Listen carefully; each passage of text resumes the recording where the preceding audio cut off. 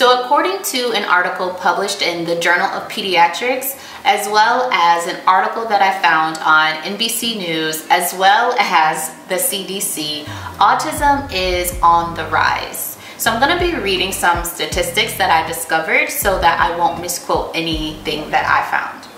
So it says that autism rates have actually tripled from the year 2000 to 2016.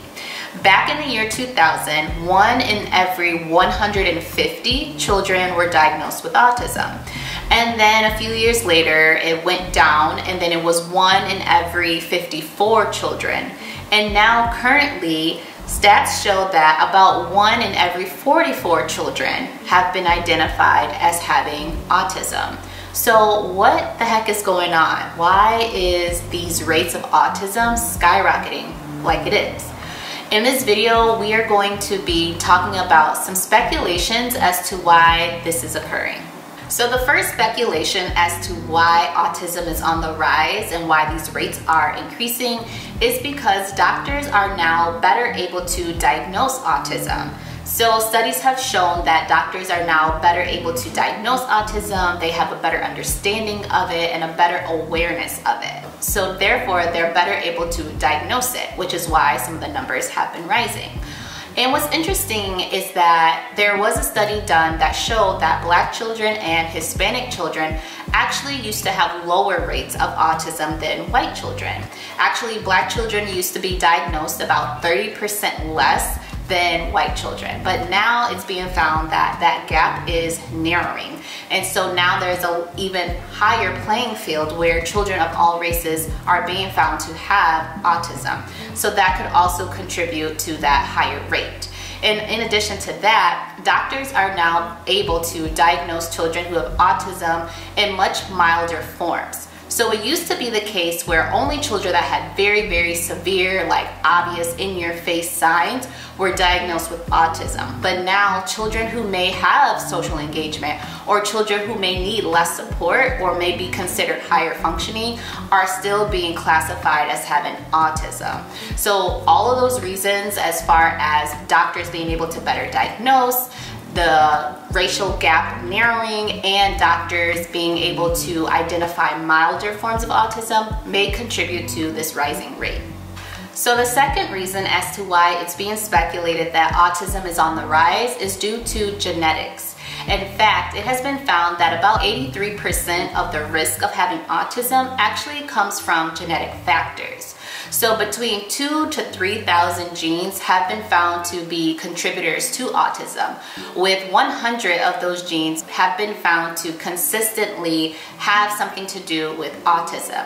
So if one parent has a trait or both parents have a trait in their genetic makeup, then that could lead to autism. Also, it has been discovered that older parents have higher risk of having children that have autism.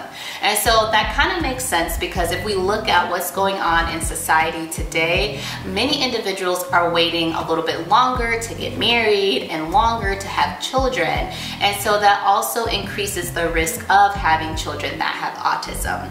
So genetics is definitely the second speculation as to why the rates are going up. The third reason as to why autism rates are going up is due to environmental factors. Now, I was doing a lot of research on this particular speculation, and honestly, there wasn't much out there. A lot of the articles that I came across, it just says environmental factors, but it's not saying exactly which environmental factors could be contributing and playing a role. So this is something that is still being researched. But what they are saying is that some of these environmental factors may be causing some type of genetic mutation or change in genes, which could lead to autism. So once again, it sounds like that environmental piece and that genetic piece are kind of those two main components that is contributing to that higher risk of having autism.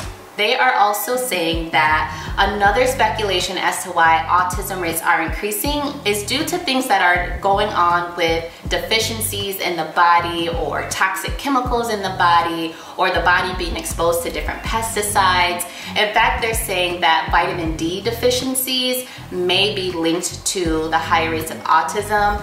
And I don't know if you guys knew this, but it was found that vitamin D deficiencies was also found to be linked to COVID a few years back. So all in all, please take your vitamin D. So it honestly, even though this has not been found to be like solid evidence, it would not surprise me if a deficiency in vitamin D was linked to autism.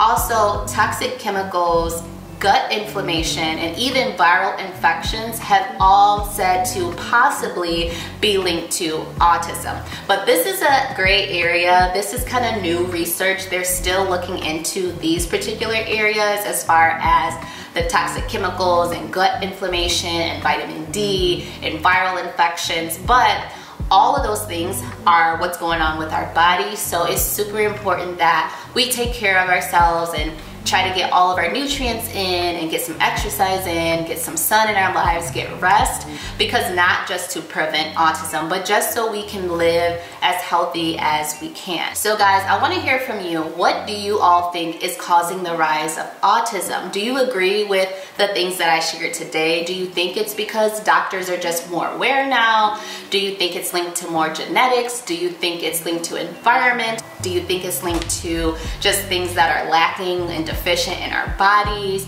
What are you guys thinking? I would love to have a conversation and just see what the thoughts are about this topic. All right, guys, take care and to the next one. Bye.